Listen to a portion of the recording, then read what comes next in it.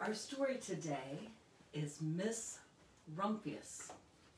Story and pictures by Barbara Cooney.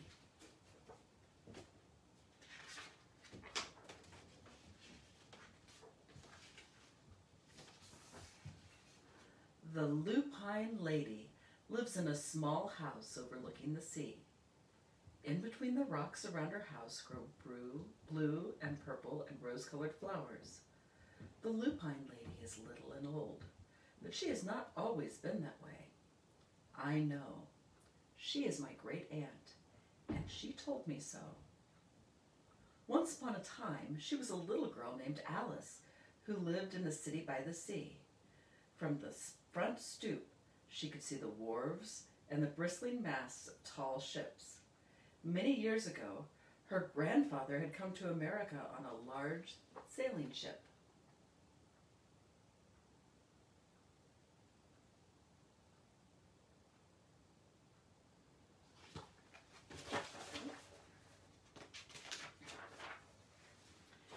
Now, he worked in the shop at the bottom of the house, making figureheads for the prows of ships and carving Indians out of wood to put in front of cigar stores. For Alice's grandfather was an artist. He painted pictures, too, of sailing ships and places across the sea. When he was very busy, Alice helped him put in the skies.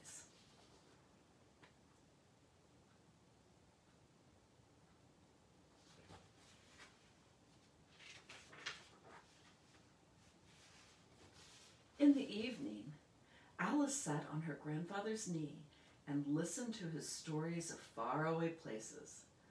When he had finished, Alice would say, When I grow up, I too will go to faraway places, and when I grow old, I too will live beside the sea. That's all very well, little Alice, said her grandfather. But there's a third thing you must do. What is that? asked Alice. You must do something to make the world more beautiful, her, said her grandfather. All right, said Alice, but she did not know what that could be. In the meantime, Alice got up and washed her face and ate porridge for breakfast.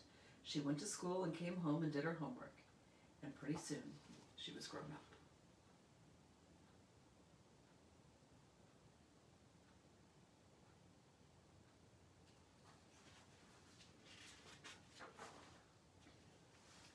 Then my great aunt Alice set out to do the three things she had told her grandfather she was going to do.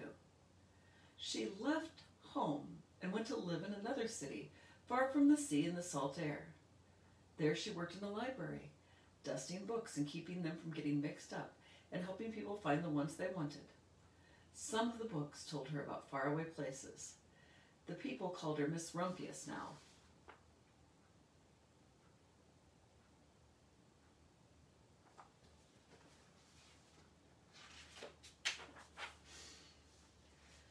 Sometimes she went to the conservatory in the middle of the park. When she stepped inside on a wintry day, the warm, moist air wrapped itself around her and the sweet smell of jasmine filled her nose. This is almost like a tropical isle, Miss said Miss Rumphius, but not quite.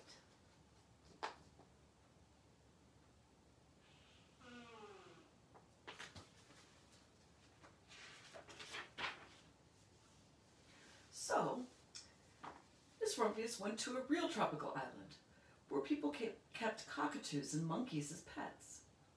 She walked on long beaches picking up beautiful shells. One day, she met the Bapa Raja, king of a fishing village. You must be tired, he said. Come into my house and rest.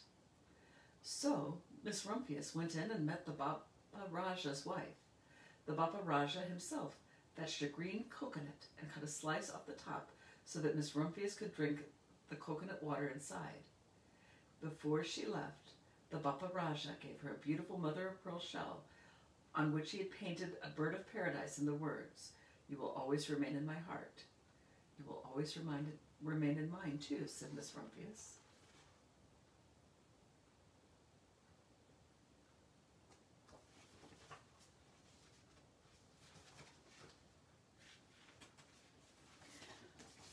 My great aunt, Miss Alice Rumphius, climbed tall mountains where the snow never melted. She went through jungles and across deserts. She saw lions playing and kangaroos jumping. And everywhere she made friends she would never forget. Finally, she came to the land of the lotus eaters, and there, getting off a camel, hurt her back. What a foolish thing to do, said Miss Rumphius. Well, I have certainly seen faraway places. Maybe it is time to find my place by the sea. And it was. And she did.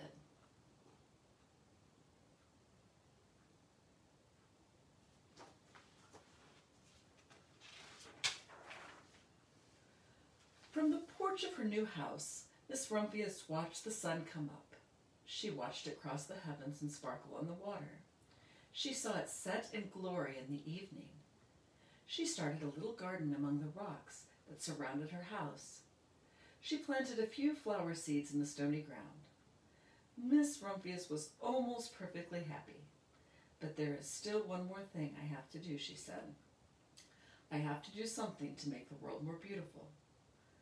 But what? The world is already pretty nice, she thought, looking out over the ocean.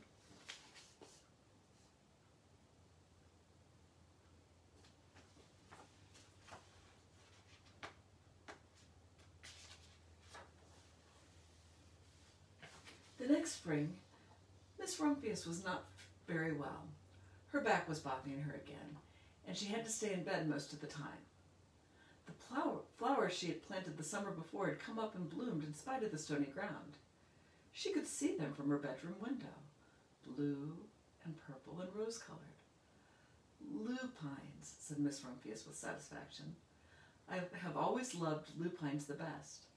I wish I could plant more seeds this summer so that I could have still more flowers next year. But she was not able to.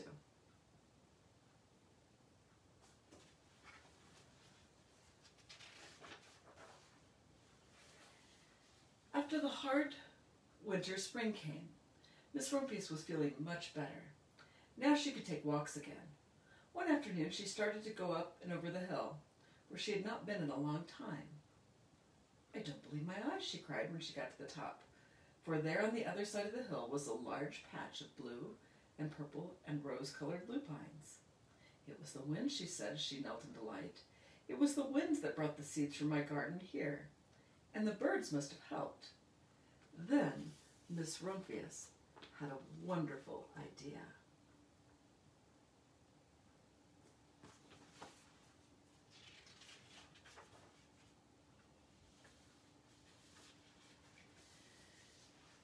She hurried home and got out her seed catalogs. She sent off for the very best seed house for five bushels of lupine seed. All that summer, Miss Rumphius, her pockets full of seeds, wandered over fields and headlands sowing lupines. She scattered seeds along the highway and down country lanes. She flung handfuls of them around the schoolhouse and the back of the church. She tossed them into hollows in the long stone walls. Her back didn't hurt her any more at all. Now, some people called her that crazy old lady.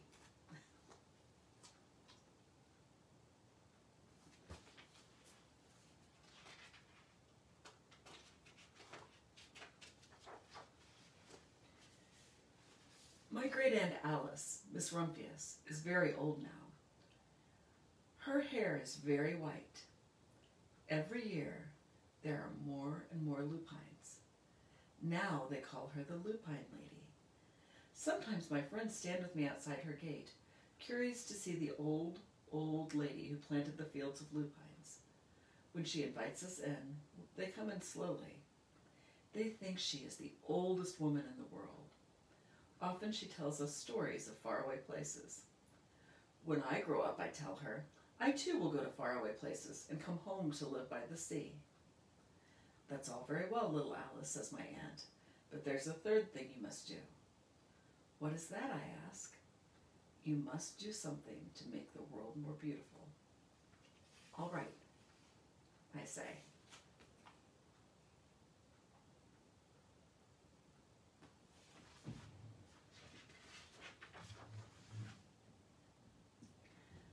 But I don't know yet what that can be.